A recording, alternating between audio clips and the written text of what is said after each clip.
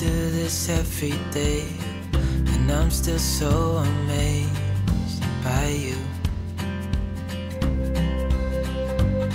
So hold me tight through the ¡Qué susto! ¿Te habías asustado? No. No, si no, digo, rodeo por otro lado.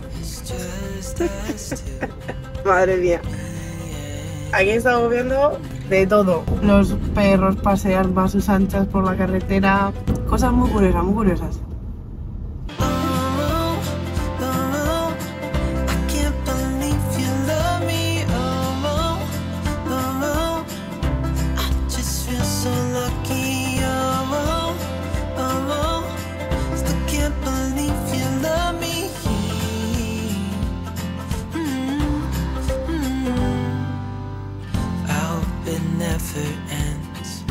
Being more than friends. Yeah. You know I'm here to stay every single day.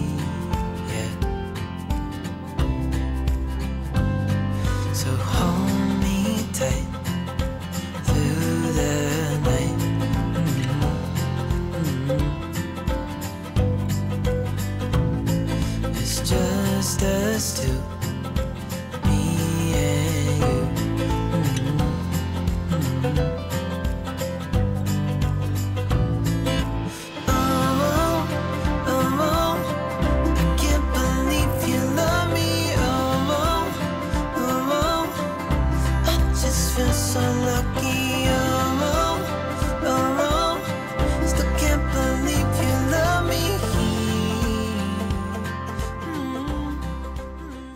Hacer Vamos a probar comida 100% de aquí.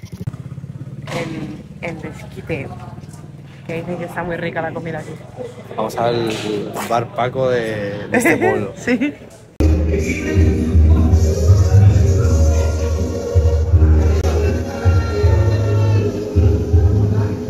¿Qué tal? Es un ceviche mixto y es el típico ceviche mexicano. Está impresionante. Hemos parado en un pueblo en el que yo creo que no paran turistas para nada. Y bueno, el recibimiento que hemos tenido es espectacular. La gente súper simpática. Y bueno, la, la comida increíble. Ahora os enseñaremos después de comer un poco alrededor cómo es el pueblo. Es, tiene un encanto brutal. Súper diferente a lo que estamos acostumbrados en Europa, en España y tal. Pero tiene un encanto brutal. Y vamos, México, esta zona me está enamorando, ¿eh? Muy bien.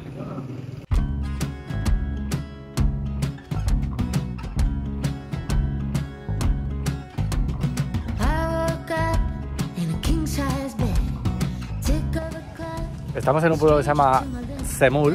Empieza con D y luego con Z. ¿Dejamos por Zemul. aquí el nombre?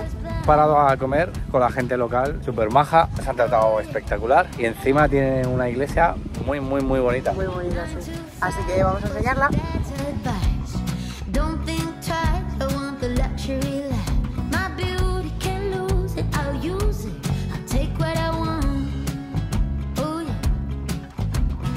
Oh. Vamos a entrar en la iglesia para que la veáis cómo es. ¿Qué ha dicho el chico antes de lo del oro? Que tenía partes de oro, que no quedaban muchas, pero que tenía cosas de oro. De verdad, oro de verdad.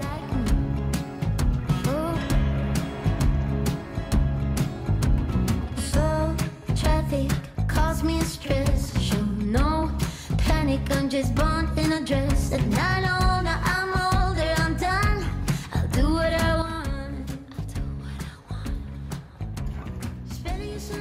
Como curiosidad, en las iglesias de aquí de México hacen hasta música en directo. ¿Lo podéis ver? Allá. Altavoces, una batería, incluso hay una batería allí arriba y más altavoces.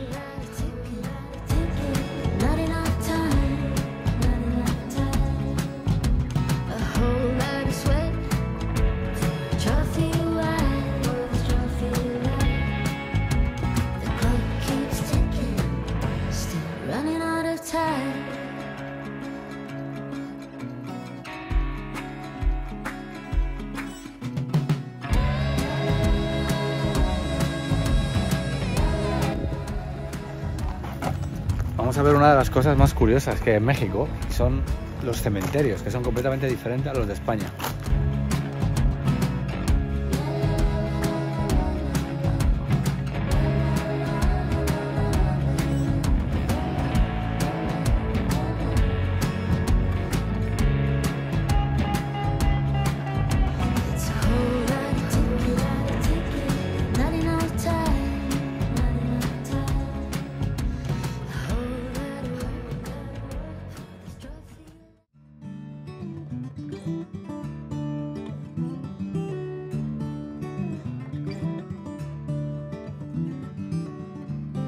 Trees they are singing to the tune of a song, and the wind is gently ringing the bell that brings the morning, the welcome of the dawn.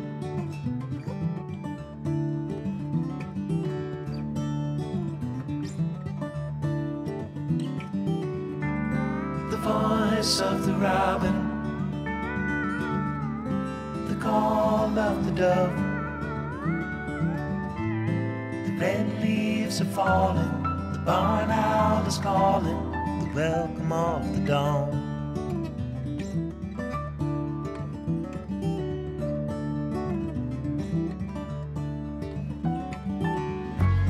The dogs will be howling in the early morning light. Bueno, ya es la tercera vez que nos pasa que, que hay policías, Como controles de policía. como controles de policía, todo, pero todo el tiempo. Y te miran y según te vean te dicen, pues paras o no. De momento nos han dejado pasar en todos. Pero, no sé, este, este sitio de progreso, ahora os contamos, pero estamos, raro. raro, estamos alucinando. Buenas. Caballero, prueba de altimetría para soplar fuerte, por favor. Sí. Soplar. Como si fuera un globo, no se lo pegue. De lejos. Otra vez. ¿No? Como si fuera un globo. Lo, lo intento, ¿eh? Es que nunca me han hecho nada de esto. No, no, no. no. Es como si fuera a inflar un globo. Sí, vez. sí, sí. Dale. Sí, sí. Dele. ¿Ya tomó algo? Nos Una tomamos, nos una tomamos cervecita una. Mientras comimos. ¿Sí? Vamos ya al hotel a dos minutos de aquí. Está Ya bien. no vamos a salir más. ¿eh? Vale. Vale, gracias.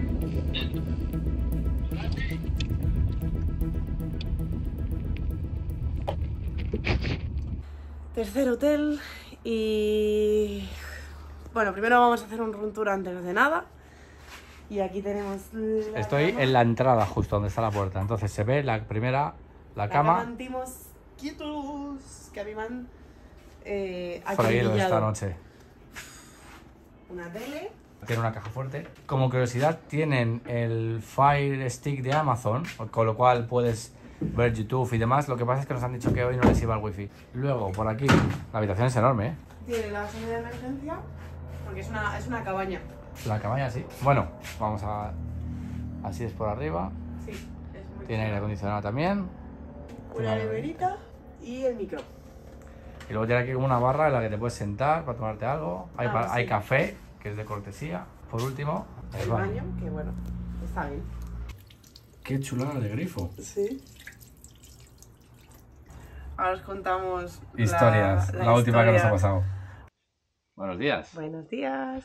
Pues estamos más o menos al lado de un pueblo que se llama Progreso, en la zona norte del, del Yucatán. El sitio donde hemos dormido es espectacular. Como siempre lo dejamos abajo en la cajita de información, donde dormimos, donde vamos, donde comemos. Bueno, íbamos a contaros lo que pasó ayer, pero es que nada, tomamos una cerveza y luego nos, nos dimos un baño a la piscina y dijimos A dormir. a dormir. Caímos rendidos. La verdad es que ayer fue una experiencia poco horrible, bastante. Habéis visto un poco el vídeo. Yo paré de grabar porque ya la situación se puso muy tensa y a mí encima ya me daba miedo que, pues, yo qué sé, que se pusiera peor porque se dieran cuenta que estaba grabando, no sé. Entonces, bueno, lo paré. Total, que nada, después de, soplar, eh, si habéis visto el vídeo, pues él dice, eh, o sea, él no dice que da positivo y cuando pregunta, "¿Habe- ¿habéis bebido algo? Nosotros sinceros, sí, una cerveza en plan. Bueno, y si en el vídeo justo sale que dice, eh, cuando di- dice, sí, he tomado una cerveza, dice, ah, es que sale positivo, poco raro, pero bueno, eh, dice que paremos más adelante, entonces paramos y es cuando el compañero ya dice, nos amenaza diciendo que, que puede pasar la noche en el calabozo. Ahí es cuando yo me da un infarto, porque digo, vamos a ver, Sí, me amenaza con, con llevarme detenido realmente. Y yo, claro, se me pasa un calabozo en México, yo sola, eh, que no te pueden hacer eso por una cerveza. Pero claro, en ese momento entras en pánico, dices, estoy en otro país, ¿qué hago? ¿Quién llamo? ¿Qué digo? ¿Cómo lo...? Intentamos razonar con él, decirle, oye, mira, que solo me tomo una cerveza, que voy camino de hotel, que estoy a cinco minutos. Y ya el tío empieza como a, a decir, es que no te puedo dejar ir, porque claro, porque puedo perder mi trabajo. Pero a la vez me estaba empezando a decir, bueno, es que a lo mejor pues se puede buscar una solución.